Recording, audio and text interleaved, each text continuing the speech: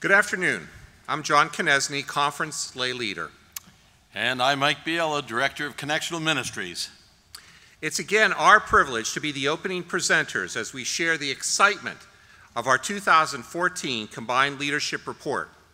What we are about to share is the result of living into our commitment to align all of our work to focus upon our annual conference mission and vision. Together, the Cabinet, the Connectional Ministries, staff, and ministry teams, as well as the Office of Growing Effective Churches, have intentionally aligned all of our efforts to fulfill the goals we have set as the Susquehanna Conference. John, I notice you used the word align a couple of times already.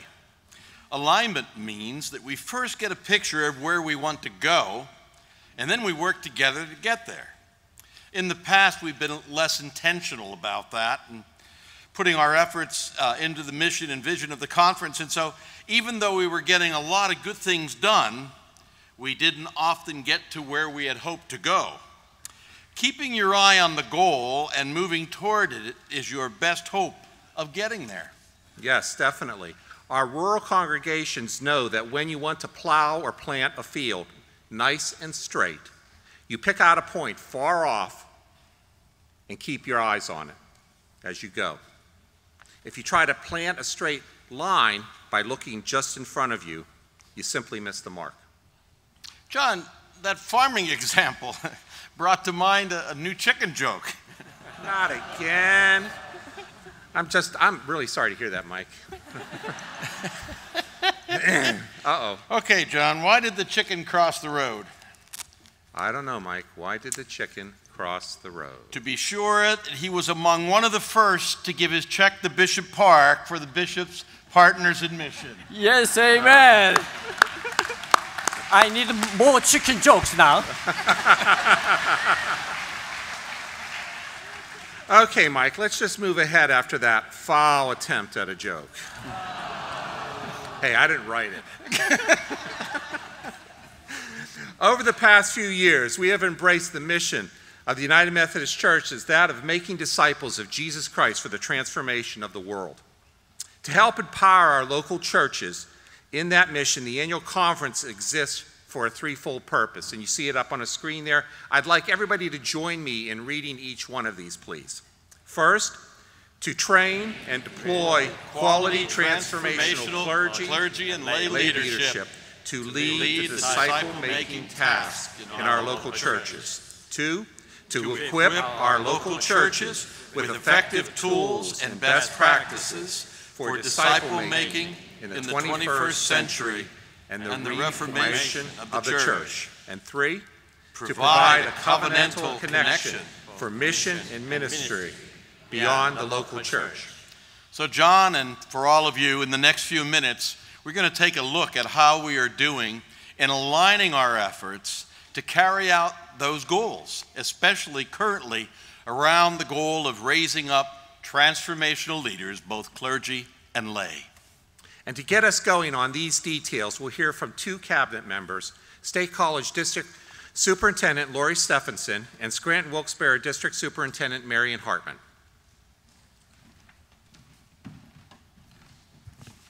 Hey, Marion. We get to introduce the cabinet part of the leadership report. Isn't that exciting? Yeah.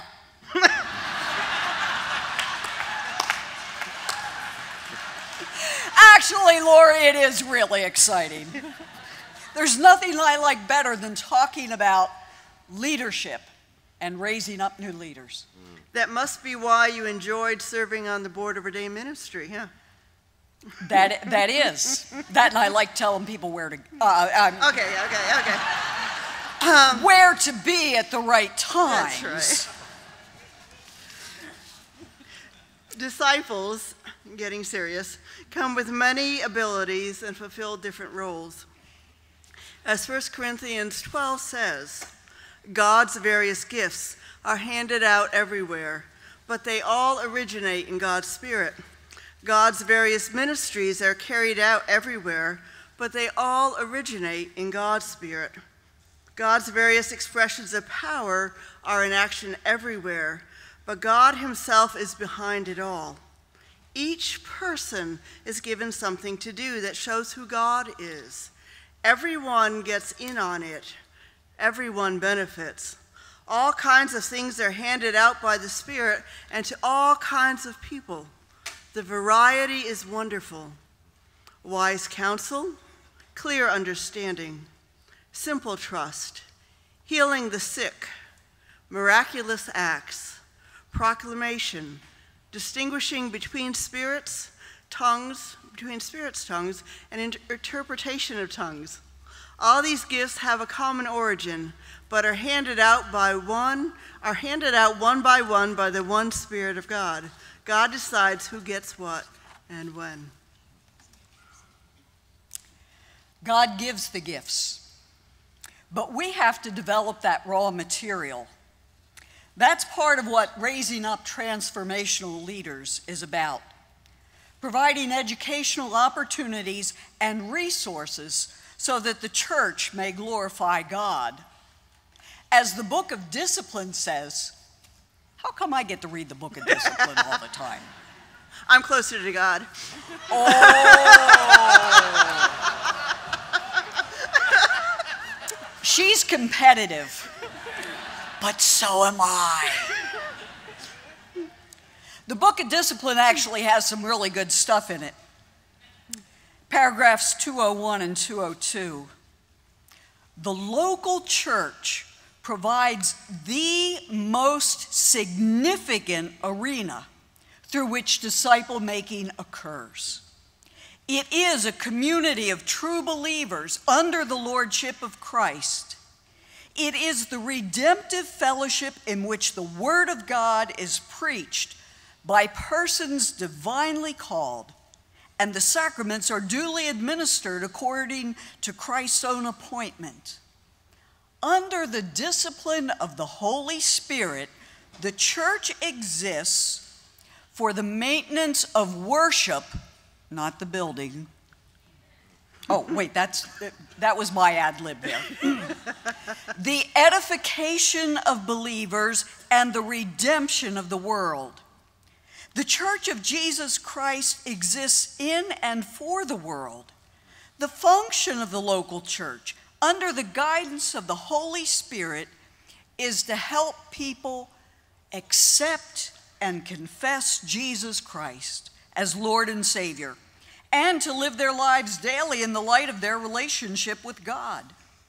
Therefore, the local church is to minister to persons in the community where the church is located, to provide appropriate training and nurture to all, to cooperate in ministry with other local churches, to defend God's creation and live as an ecologically responsible community and to participate in the worldwide mission of the church as minimal expectations of an authentic church.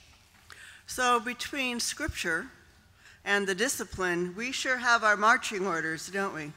We sure do. But why do we need to raise up leaders? Doesn't that imply that we're lacking leaders? We are lacking leaders. God is calling and God equips those he calls, but I get the feeling sometimes that maybe people aren't listening or responding to God's call. Hmm. Every year we retire more elders than we ordain. And to be honest, look around the room. In 30 years, how many besides me are going to still be kicking? not me, not me. I'm going to still be kicking, maybe not real high, but I can still kick. no, no, no, no, no, no, no. Later, later. But really, my toes got stepped on this morning as I listened to the millennials. How many of us, well, we all have the ability to reach them, but how many of us have been doing that? And besides that, the numbers of unchurched millennials, X Gen, and, and all the rest of us. Lori, in your district, there are some areas where there are 85% unchurched. Wow. We have work to do. So I know now why we need to raise up leaders. But why do we need to raise up transformational leaders? Doesn't that imply change? Uh, yeah, it sure does. Does that mean that what we did before was yucky? Yucky? What kind of word is No, it doesn't mean that what we did was yucky. We've done cool, groovy, awesome, bad when bad meant good. the reality is, well, the yucky went, went back to the days when we rode horses. Yeah. You know, there was some yucky there. But now, you guys are slow. now we ride in cyberspace. We no longer have one or two fragments of the Holy Writ that we all must share.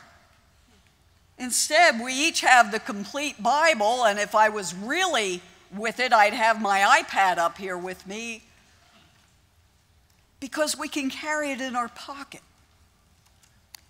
or our smartphones. The world's changing. One of the ways that we have responded to change is by developing the role of the assisting elder.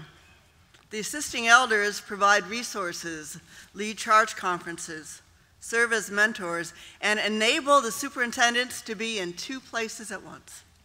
Yes! And because of the assisting elders, we can invest our time in such things as PLD, EGP, and M28. Oh, PLD, EGP, MT28, oh my. Let's invent, invite our colleagues to expand on that alphabet soup. I think that's a good idea. Let's ask Kathy Kind, our colleague from the Altoona district, to explain PLD. So it seems as though you were stating the obvious when you mentioned how the world around us is changing. It has changed, and the church has struggled to keep up with that exponential rate of change. While our mission of making disciples of Jesus Christ for the transformation of the world remains unchanged, our approach to fulfilling Christ's mission has needed to change. We need transformational leaders to meet the challenge. One of the ways that we have been addressing this need for a new style of leadership has been to equip our pastors to be transformational leaders. That's what Pastoral Leadership Development, PLD 1 and 2, are all about. In PLD, our pastors gather together monthly to discuss crucial leadership topics, to read books that they have focused on that topic. And additionally, at the end of each session, our pastors spend time making note, naming for themselves the key learnings to take away from that topic, and then make note of an action plan that our pastors will be working on in the coming weeks and the coming month until we come back together again for that next pastoral leadership development class. And then when we regather, our pastors collect in small groups, groups to check on the progress that they've made in implementing that goal. As valuable and as important as the education and the training that our pastors have received in preparation for ministry, we have found that that education has not necessarily taught our pastors how to be transformational leaders. So, as an annual conference, we must be intentional in our own continued learning The curriculum in PLD 1 and 2 challenges our pastors to focus on leadership skills that get the church to focus on our mission of making disciples of Jesus Christ. We do this by focusing on our communities, knowing our context, who are in our communities, and who are some of those 85% who aren't in our faith communities. We also want to be targeting those persons who really aren't connected to a faith community, to create worship and faith formation experiences that connect non and nominally churched persons with Christ, and also to create opportunities where those persons who are already churched and in the church to deepen their faith and their relationship with Christ. Sometimes this retooling of skills through the curriculum in PLD resonates. It makes sense. It's easy to hear. It feels easy to implement. It's comfortable. And there are sometimes it's challenging. It causes us to question how we lead in the church. And it's precisely in those places of challenge where we grow and we work towards becoming transformational leaders. Raising up transformational leaders is our hope for our people as we move into God's future. Now, at this point, there have been about 200 participants, a few more than 200 in PLD1 and over 50 in PLD2. I'd like to ask those pastors who have participated in PLD1 or 2 to please stand.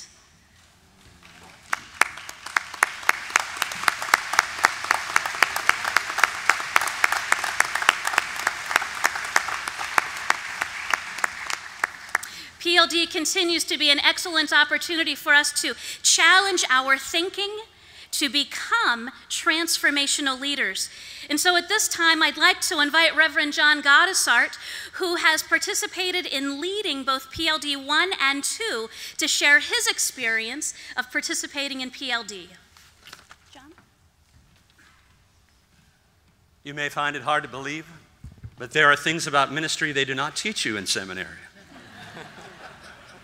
Now, I believe I received an excellent seminary education at Asbury, the alma mater of Bishop Mark Webb. But, um, you know, with any learning experience, there are gaps. Learning this morning from hearing the millennials, so many things we don't know. It's essential for us to keep growing and to keep learning and developing. And I found PLD 1 and 2 to be excellent resources to help to hone in on some of my skills. Uh, any single one of us can walk down to the, the bookstore at Cokesbury and pick up a great book and read it. But what's so wonderful about the PLD experience, you get to discuss that book with your colleagues. You can open up about the good, the bad, and the ugly in your own ministry context. And you can dream God's dreams of where He wants to take you. There are also opportunities to take concrete steps to establish what you're learning in your own ministry context. Personally, I found through PLD, I'm a better preacher. I have a stronger desire to reach my community for Christ, and I have a deeper appreciation for many of my colleagues in ministry. So, to, to mix up this alphabet soup that's going on all he, up here, I would say the UMC needs PLD ASAP. Thank you.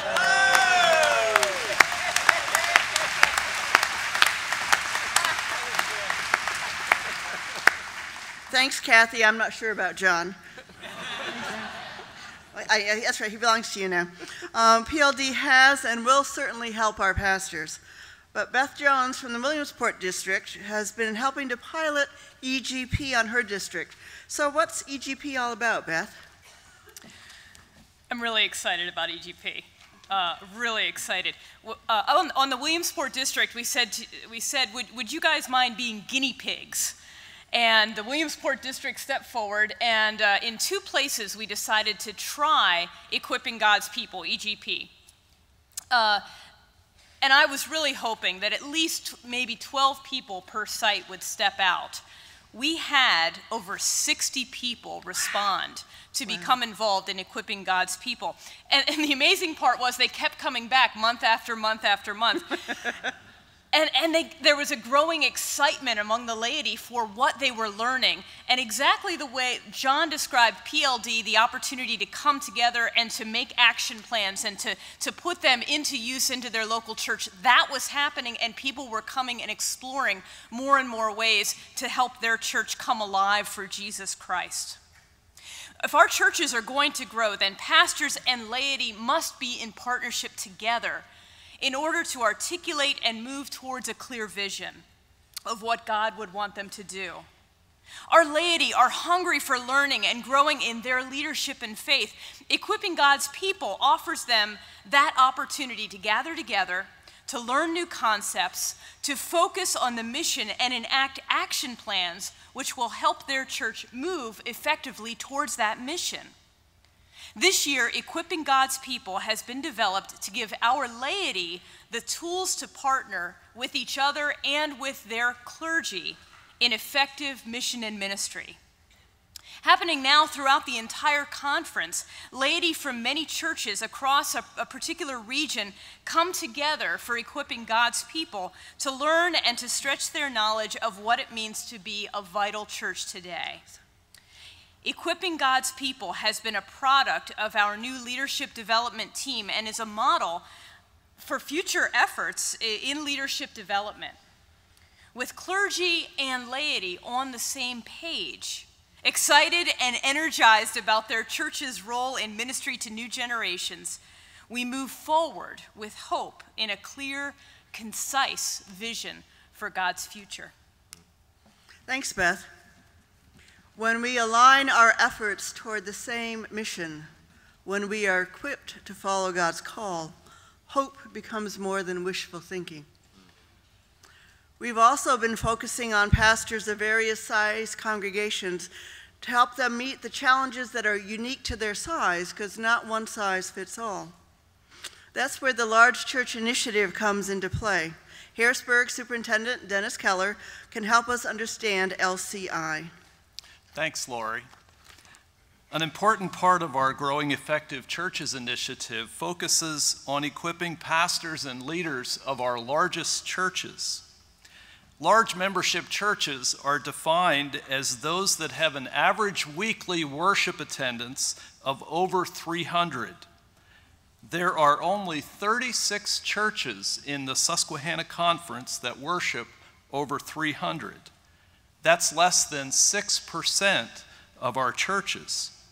However, almost 20% of the people who worship in our churches each week are worshiping in one of these 36 churches. In other words, one in five United Methodists in worship each week in our conference are worshiping in a large church. These churches play a critical role in advancing the mission and ministry of the church. Over the years, pastors and staff members of our large churches have met to share resources and develop leaders. In 2012, a more intentional effort began to form peer learning groups for large church pastors, sort of a PLD for those who are serving in large churches. And I'd like to ask if you were part of a peer learning group in one of our districts uh, related to the large membership church, if you would stand at this time. Right, thank you. Thank you.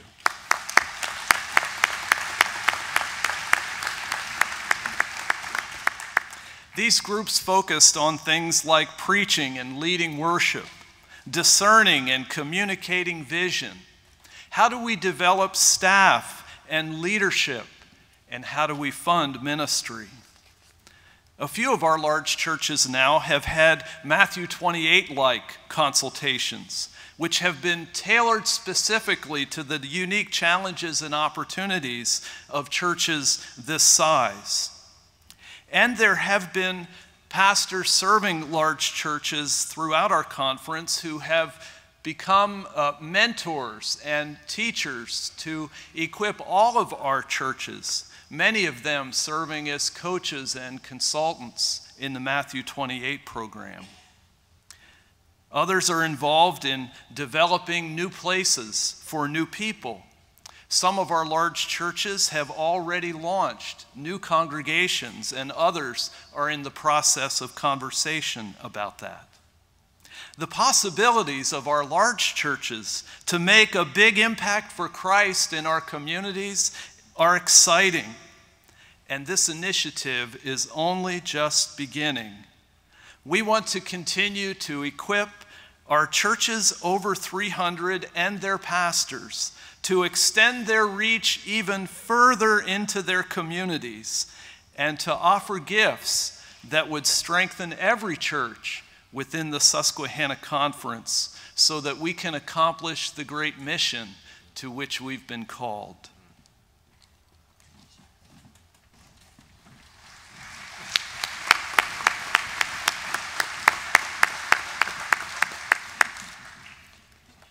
I have the sneakers on. I got here first.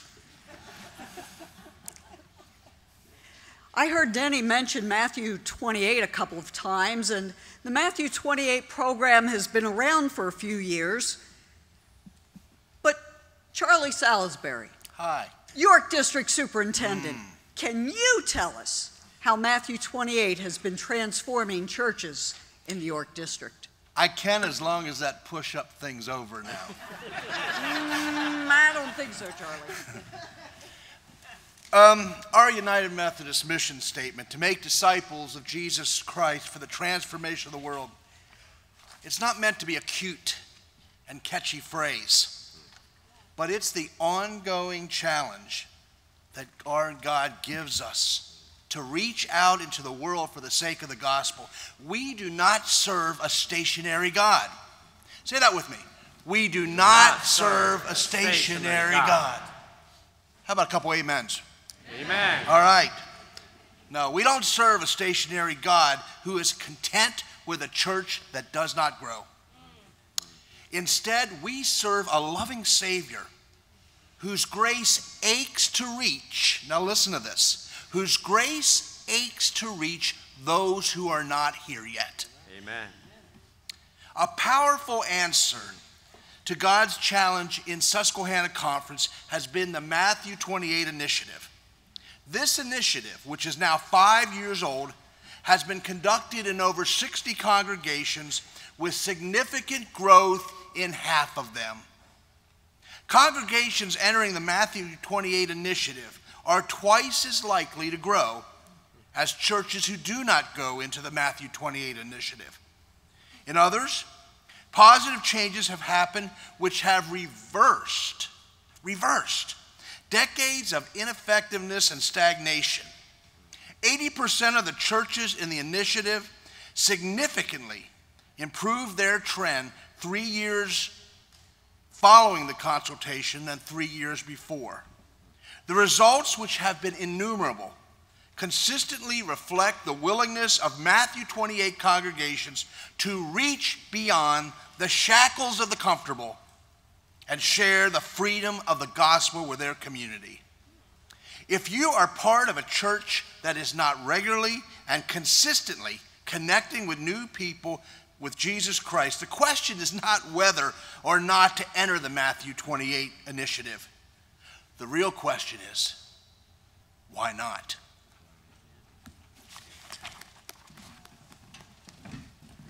Oh, I think Charlie got to preaching. Thanks, Charlie.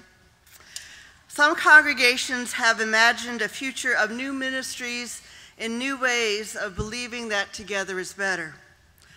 Tom Salzgiver from Lewisburg District shares about some of those congregations who sense God's calling to come together. The second chapter of Acts is about the beginning of the Christian church. The last verses of that chapter talk about how people join together for the sake of the gospel. The final witness in Acts 2 is really about a vital merger, a vital merger of people coming together to work together, to worship together, to serve the risen Lord together. One of the most exciting things I believe happening in the Susquehanna Conference is that of vital mergers. Vital mergers are churches coming together to do ministry together in a new way and most often in a new place. Vital mergers are formed by people who believe that they can do more ministries, reach more people by working together. People involved in vital, er, vital mergers often give up what they've known. They often give up the places where they have worshiped and sometimes positions that they have held because they believe that God can do a new thing when a new church is formed with two or more congregations coming together. Vital mergers aren't easy. They take months of earnest prayer seeking God's will. These mergers take honest and thoughtful discussion about what God is calling them to do, not what they want God to do, and how God can best use their congregations. These mergers also take a willingness of people to put God's mission and vision beyond, beyond their own desire to stay in a church where they have worshiped for years. In the words of Isaiah, God is doing a new thing. God is doing a new thing, particularly in places of vital mergers. Vital mergers are not accomplished because of desperation. It's not a last ditch effort to survive and certainly not to maintain the status quo of we've always done it that way and we will always do it that way. Rather, vital mergers bring energy and most often a new direction to ministry in the community. Vital mergers occur because God's Spirit leads two or more congregations to understand that God's ministry can be accomplished when we join together because we can do better together than separately. In the city of Carlisle, three strong congregations felt their hearts and minds moved by God's Spirit to combine their ministries to serve even more effectively in the greater community. By coming together as one, they are discovering the limitless possibilities for the future. In a more rural setting, there have been two vital mergers. One is the Buffalo Valley Church, which was a merger of four small churches the day that each church voted to merge. Five to ten minutes later, they voted to sell every one of their buildings and to buy a new building so they could be in new ministry together. Another vital merger is the Roaring Creek Valley Church. Here is Pastor Chad to give witness to what God is doing through that vital ministry and merger.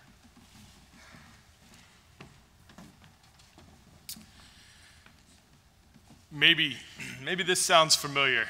A church council meeting where the discussion revolves around what bills to pay and which ones we can't afford. Maybe the question of where did the young people go?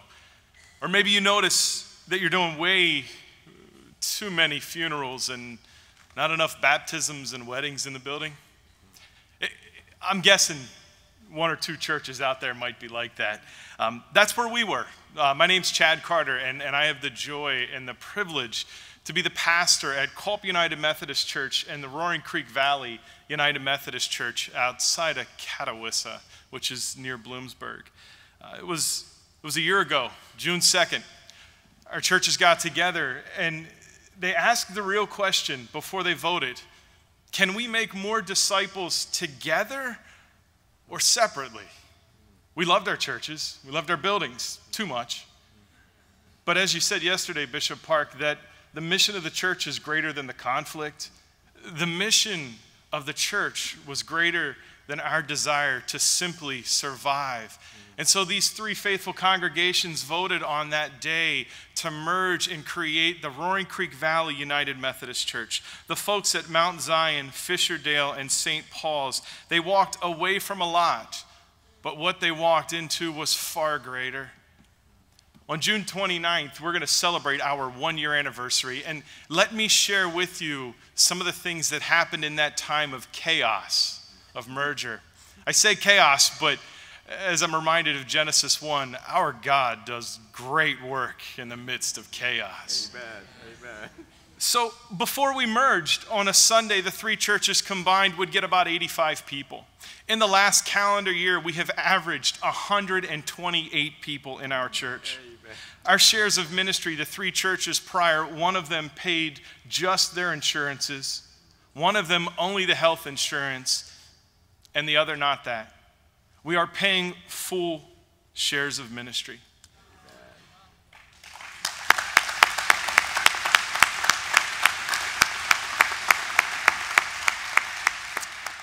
the 12 months before we merged, we offered $2,400 to both local and national mission. In the last 12 months, we have given $13,400 to mission, both national, international, and local.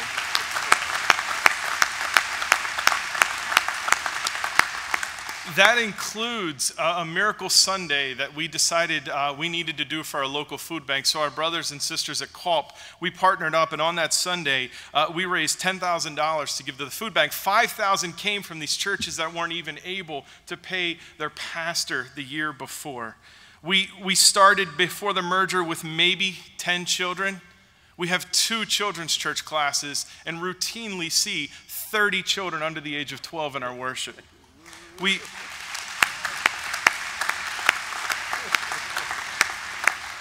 we have 12 new families, unchurched families that have come after this merger. We've got a Cub Scout pack. And not just to host them, but they are part of our mission team. We actually include them on the mission team. They went out and helped us with our spring spruce ups. Three new small groups. We have a youth group. Not, not only are we going to do VBS this year, but we are going to go to the campgrounds around Knoebels Amusement Park.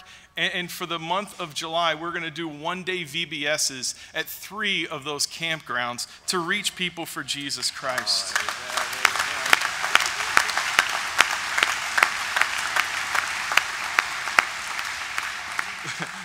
We're sending out VIM teams, uh, uh, folks to Haiti. Uh, we, we have a worship team now. It's not just me. Uh, we have, beginning in the fall, we're going to host AA and NA groups. It, it's amazing what God has done. Don't get me wrong, we have our problems. We have no room for visitors in parking, and so we had to start a Saturday night service so that some people could come Saturday night to make room for folks on Sunday.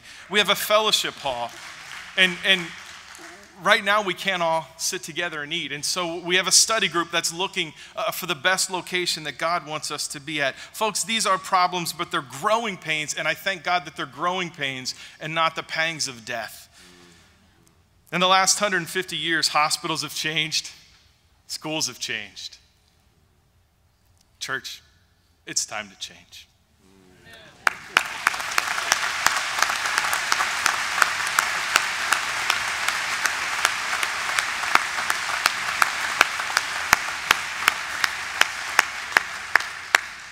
Brothers and sisters, obviously God is not done yet. Mm. And neither are we. Another new and exciting effort has been birthed through the work of Dennis Otto and his office of Growing Effective Churches, the planting of new faith communities. Dennis, what's happening? Well, there, there was little planting of new faith communities in either of the former conferences uh, prior to the creation of Susquehanna Conference for several decades. There seemed to be a new interest emerging uh, throughout the area uh, to create new places for new people. In a conversation and co- consultation with Path One, the, the group that throughout the United Methodist Church tries to kindle interest and support church planting, uh, we began to discover that there was interest in the communities as we went around the annual conference, and in our conversation, we found that interest stimulated. There's a question I hear periodically. Folks say, Why do we need more churches? We don't need more churches. We need more churches that are effective in making disciples of Jesus Christ, transforming their communities. And so that was the undergirding of all of this. Path One's strongest advice to us was to kindle the, the starting of new faith communities in local churches, in clusters, as well as through the annual conference. At the time of that conversation, uh, Crosspoint Church in Harrisburg was already planting through the launching of multiple sites with the addition of the Rutherford campus and Perking Point. Currently, uh, First Church in Williamsport has launched a simulcast site called North Campus where there's a live band and site pastor, but where the preaching is simulcast from another site. They're also developing a, a virtual site. As they continue to develop the social media and the online connections, they're realizing that more and more people are engaging uh, online, and so they're trying to create ways to connect those people in community. First Church Hanover has opened Middle Street campus, a distinctively new and more current worship setting and style in the former Lourdes United Methodist Church. New Thing, a United Methodist community, uh, launched in December of 2013 in a uh, strip mall between uh, Highspire and Middletown. It, it's reaching an underserved area which has a dense population and a high population of children. Begun in 2013 and moving toward launch is Nueva Esperanza en Cristo, a congregation reaching out to those who speak Spanish in Harrisburg. This congregation currently shares its pastor and its facilities with 29th Street Church. New Hope Church in Bellefonte area has entered a, a relaunch time. There was a church, I, I rather think an Assemblies church, that planted and it didn't work. They left the building for five years and kept it up, but had no church there. And then the United Methodists took this failed plant of another denomination and are using it to be a relaunch site for a merged congregation that now has a new beginning and is trying to remake itself to reach its community. There are at least uh, four other New Faith communities in development. They're standing in the queue for the next couple of years, and there are more on the horizon. One of the things I keep hearing is that uh, uh, this conference hasn't been very good at uh, new church starts. It's an odd comment. I'm not good with math. In fact, I'm rather dangerous with it, but by my count, there are about 880 church plants. I'm convinced that uh, these four in the queue are but a drop in the bucket, that there are literally scores that, that I'll see before I leave ministry, active ministry. And I'm convinced that God may have hundreds as we try to reach out and connect people with our Savior and the ones who follow Jesus.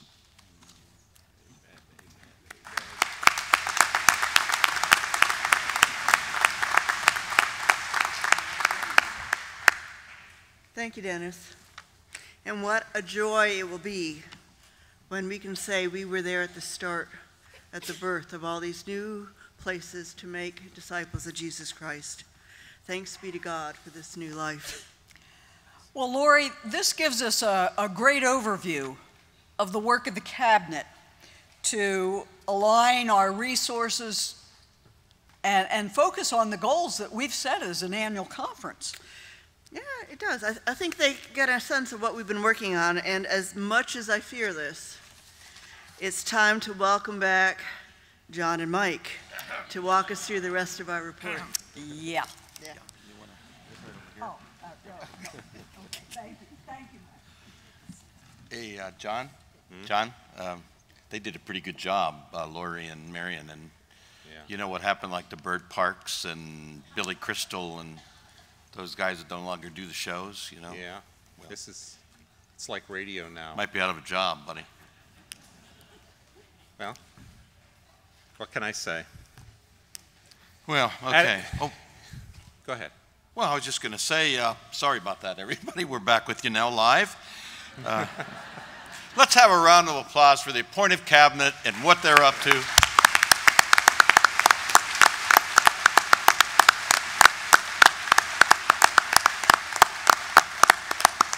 So, Mike, as we're getting near the report, as we've been told, only one joke, no tool belt, uh, no construction helmet, uh, no mind reading hats. Yeah, it's uh, kind of disappointing, isn't it, John?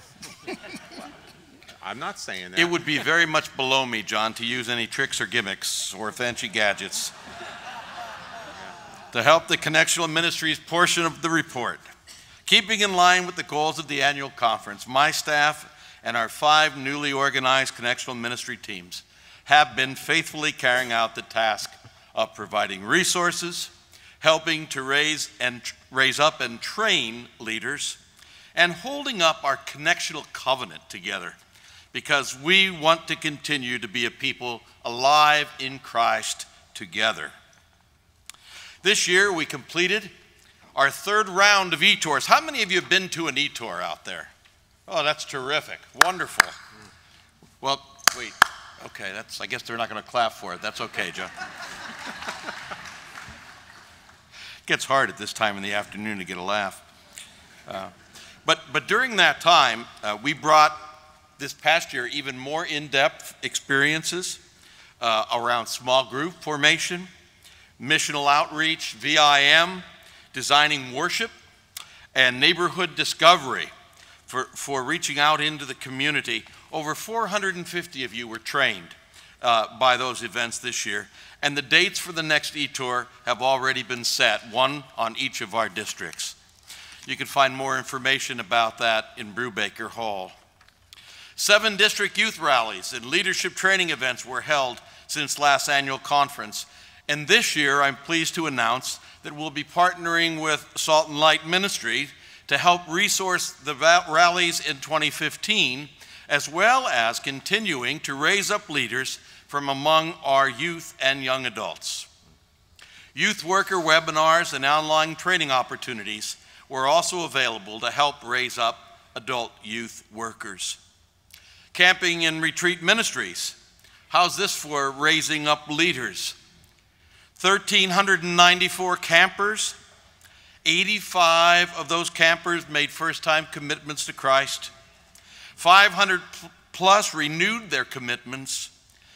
The camping program gave 117 scholarships for a total of $18,000 and I might add, much of that came from your gifts. And 500 plus volunteer staff shared their life and their faith journeys with our kids. We trained recently 28 small group trainers, folks who can come to your local church and help you develop small group ministries. Along with that, Safe Sanctuary training was held in a variety of locations and over 730 persons were trained, and 18 leaders were trained to lead those events. Discovery Place continues to be a vital link with our local churches, providing over 1,600 resources last year. In the area of communications, the link, the quick link, Susquehanna Express, Media Weekly, website, Facebook, and Twitter, all is out there in terms of helping to resource your ministry of making disciples of Jesus Christ. Connectional Ministries provides grants. Many people don't realize that. We provided last year $16,000 in grants to 14 different churches for local church health ministry initiatives. 50 persons from 30 congregations received mental health first aid training. And there is a new piece of that this year being offered new youth mental health first aid. And you've probably been hearing the statistics about how critical it is to watch and help around teenage suicide. We offered MissionInsite training and consultations. Almost half of our congregations have now used MissionInsite to discover who lives in their neighborhoods. And volunteers in mission work there will be 45, hear that, 45 open VIM mission trips available in 2015 and 2014. There will be 46 new VIM team leaders that have been trained. 215 people experienced their first mission trip since last annual conference.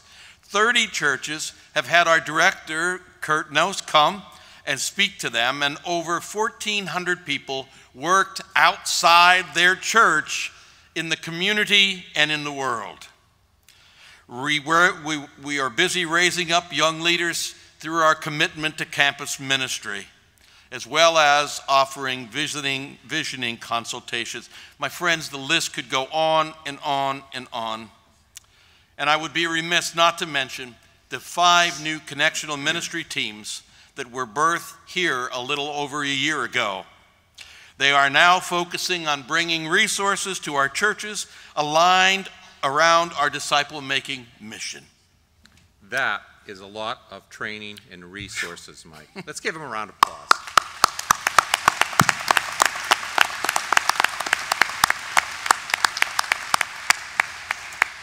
Mike, I know you often talk about equipping, empowering, engaging, connecting.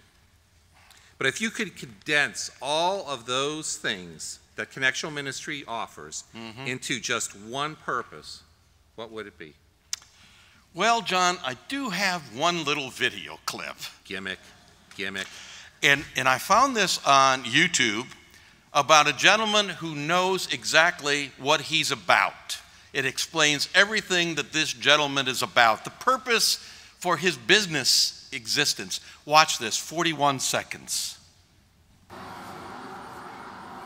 Howdy, y'all. This here's Mike. Down at Mike's Golf Shop. Where we buy golf. That's right. We buy golf clubs. Mike's Golf Shop. Come on over here. We buy golf clubs. Over Mike's Golf Shop. Come on down here. We buy golf clubs. That's right. We buy golf clubs. We buy golf clubs. We buy golf clubs. We buy golf clubs. We buy golf clubs. Are you saying you buy golf clubs? See, because being clear is really important if you know where you want to go and what you're doing.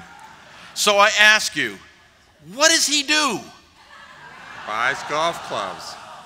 Okay, so building on that idea, we hired the best actor we could get that could look like Mike, may even share a name with him, and we filmed this with absolutely no cost.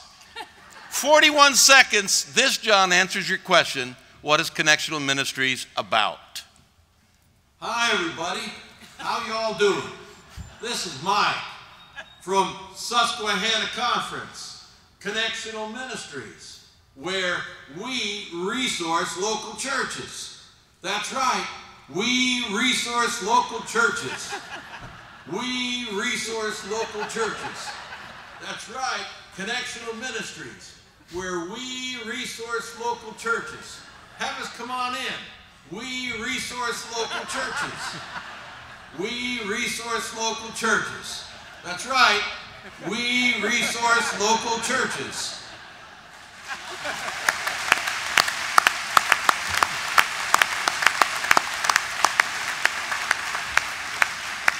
So, Mike, what does Connectional Ministries do? Ask them. Ask them. What does Connectional Ministries do? Resource the churches. Thank you. You know, my staff said that wasn't funny. Well, it certainly was different, and maybe even more, or I should say, less annoying than your chicken jokes. It does make a point, though. It does make a point. Which reminds me that we need to bring this report to a close now. Yep. Sisters and brothers in Christ, the Spirit of God is working among us. Do we have an amen for that? Amen. Lives are being touched and changed. People are being fed, and homeless people are finding places to rest. Leaders are being raised up, and persons are answering calls to ministry, both clergy and lay. The word is being proclaimed and lived out in a way that reveals the living Christ in our communities and the world. Now, we still have a long way to go, but God is showing us the way, and together, together, we can be a living hope in the midst of hopelessness and grace to all those on a journey of discipleship. Thank you for having faith in all the leadership of your annual conference, for we are truly alive in Christ together. Bishop Park, members of the Susquehanna Conference, that ends this 2014 edition of the Leadership Report.